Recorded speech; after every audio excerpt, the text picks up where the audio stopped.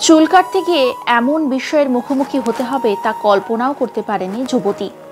তিনি ভুগছেন ক্যান্সারে, তাই চুল কাটতে গিয়েছিলেন তিনি। সেখানে চুল কাটার সময় তিনি নিজেকে বিনা চুলে দেখে কার্যত কান্নায় ভেঙে পড়েন।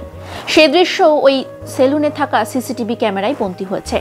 কিন্তু পরে যা ঘটলো, তা মন কেড়ে নিয়েছে নেটিজেনদের। ভিডিওটিতে দেখা যাচ্ছে, প্রথমে এক মহিলা সেলুনে এসে চুল কাটছেন। তখন তার চোখে জল। চুল কাটার শেষে কান্নায় ভেঙে পড়েন ওই যুবতী।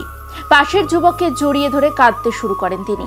ওই যুবকই চুল কেটে দিচ্ছিলেন তার। যুবকও সান্ত্বনা দেন তাকে। কিন্তু এরপরে যে কাণ্ড ঘটেছে তা দেখে অবাক হয়ে গিয়েছেন ওই যুবতী নিজেও। কিছুক্ষণ পরে ওই যুবক নিজের চুল কাটতে শুরু করেন।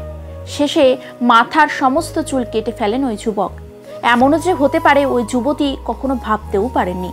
ভিডিওটিতে দেখা যাচ্ছে তিনি নিজেও গোটা ঘটনায় কার্যত হতবাক হয়ে যান। শেষে ওই যুবককে জড়িয়ে ধরেন তিনি। এই ভিডিওটি সোশ্যাল মিডিয়ায় দ্রুত গতিতে ভাইরাল হয়েছে। নেটিজেনদের মন জিতে নিয়েছে এই ভিডিওটি। যুবতীর পাশে দাঁড়াতে ওই যুবকের এমন কাজকে কুর্নিশ জানাচ্ছেন সকলে। ভিডিওটি আদতে কোথাকার তা এখনও স্পষ্ট নয়, কিন্তু এই ভিডিওটি এখন ঘুরছে সোশ্যাল মিডিয়ায়।